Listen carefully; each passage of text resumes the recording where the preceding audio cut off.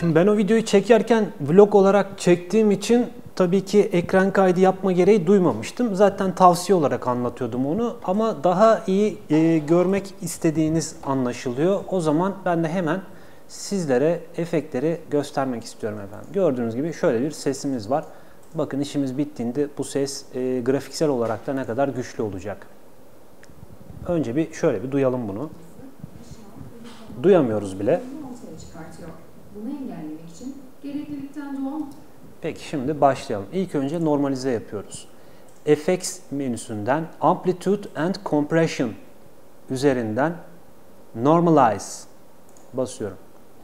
Şuradaki değer e, 97.5'i geçirtmiyorum ben. Bu size kalmış. İsterseniz e, yani geçirebilirsiniz ama çok hoş sonuçlar olmuyor. Apply uyguladık. Gördüğünüz gibi şimdiden bir fark oluştu. Brezilya'da üretilen sünger asf normalleşmeye bu şekilde ilk adımımız bu. Ardından Dynamics Processing. Şöyle hemen diğer monitörde açıldı. Bu normalde şöyle gelecektir. Şöyle bir düz çizgi olarak. Bunu şuradan kulağından tutup şöyle kaldırıyorum. Bakın alt tarafta e, şurada rakamlar değişiyor. Birincisi e, 2'yi geçmeyecek. Alttaki de 1.10 civarı. Şöyle bir ayar deneyelim. 1.14 oldu. Kabul edilebilir olacaktır. Bakın çizgilerimize e, bakın ne kadar bu aşağıda olanlar yukarı doğru gelecek ve sesimiz toklaşacak. Şimdi bakalım. bir sürekli yağış alması, aşınan ve yıpranan asfalt Güzel. Sadece bir sıkıntımız var. Çatlıyor. Onu da normalize ederek önüne geçeceğiz. Yine FX, Amplitude and Compression ve Normalize, Apply. ikliminden dolayı sürekli yağış alması, aşınan Güzel. Şimdi şimdiki adımımızda farklı bir menüye gidiyoruz. Filter and EQ.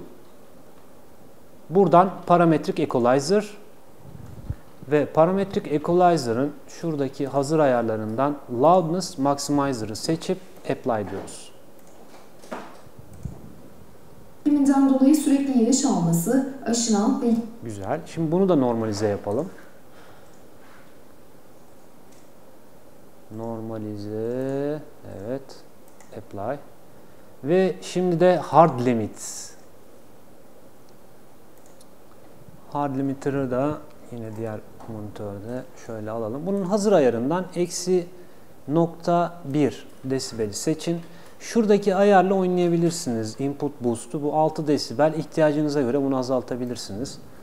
Ee, mesela ben bunu 3'e düşürmek istiyorum. Apply diyorum.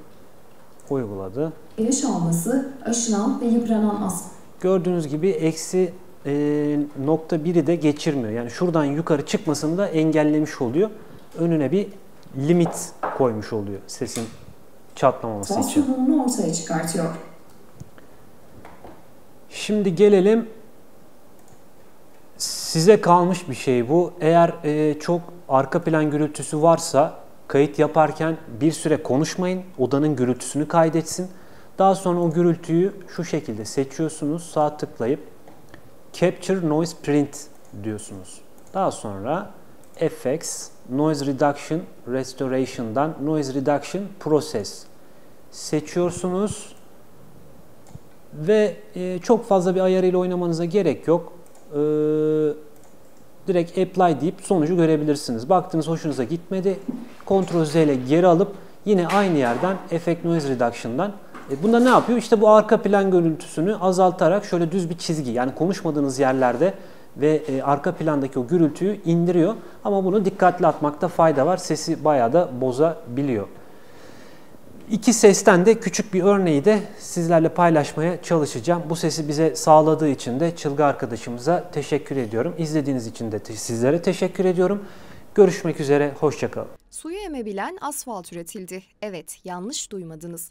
Brezilya'da üretilen sünger asfalt, yüzyılın buluşlarından birisi olarak görülüyor. Suyu emebilen asfalt üretildi. Evet, yanlış duymadınız. Brezilya'da üretilen sünger asfalt, yüzyılın buluşlarından birisi olarak görülüyor.